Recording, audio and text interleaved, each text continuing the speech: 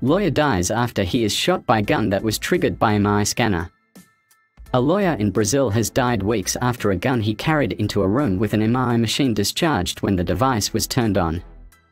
Leandro Mathias de Novaes had accompanied his mother to get an MRI scan at a facility in Sao Paulo, Brazil, and took a handgun into the room, carrying it in his waistband.